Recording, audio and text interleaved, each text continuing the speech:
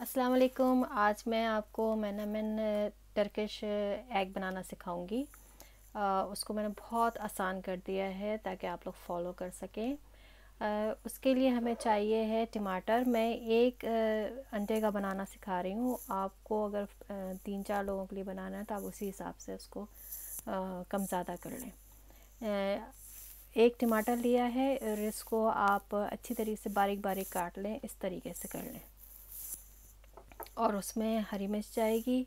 ये लोग, इनकी एक अलग हरी मिर्च होती है, वो यूज़ करते हैं, वो ज़्यादा तेज़ नहीं होती।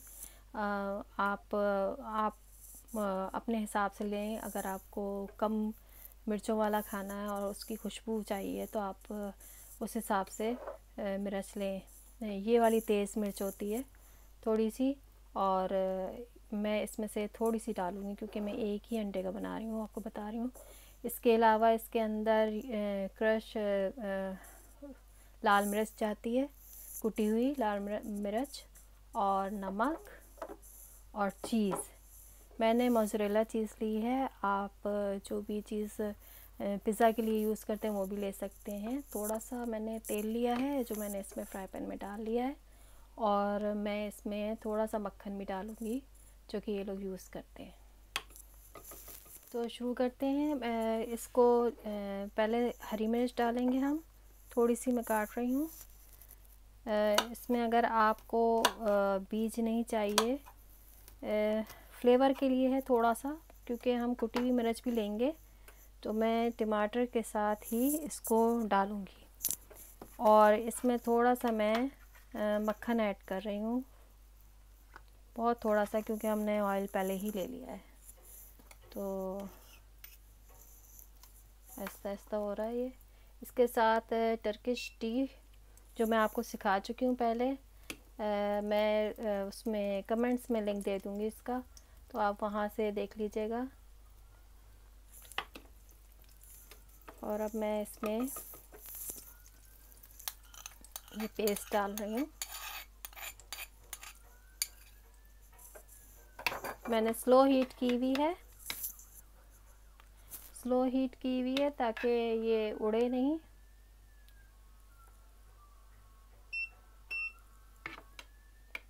थोड़ा ये गरम हो जाए, फिर हम इसके अंदर और चीज़ें भी डालते हैं। अब इसके अंदर मैं नमक डालूँगी। थोड़ा सा जितना आप खाते हैं, उसी हिसाब से डालिएगा, मैं अपने हिसाब से डाल रही हूँ। और इसी में ही मैं कुटी हुई मिर्च डाल दूँगी, वो भी थोड़ी सी डालूँगी।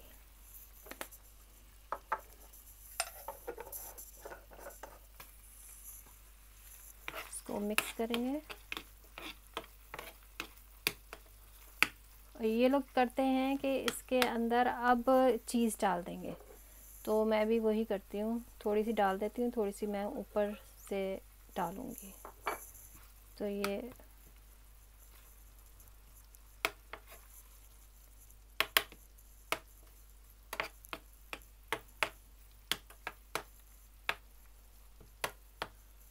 अब इसमें बीच में मैंने जगह कर दी है और मैं अब ये एग इसमें डाल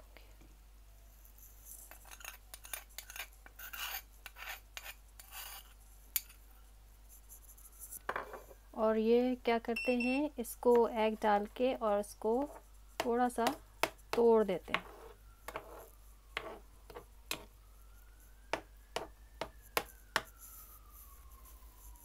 तोड़ के और मैं अभी इसके ऊपर भी थोड़ी सी चीज़ डाल देती हूँ। और अब मैं इसको ढाँक दूँगी।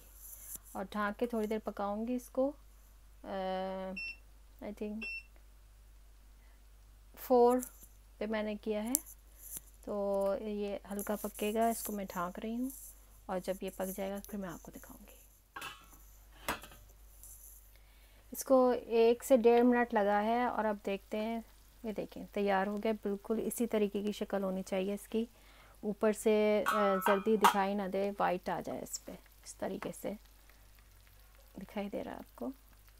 और इसके साथ हम ब्रेड और टर्किश टी देते हैं।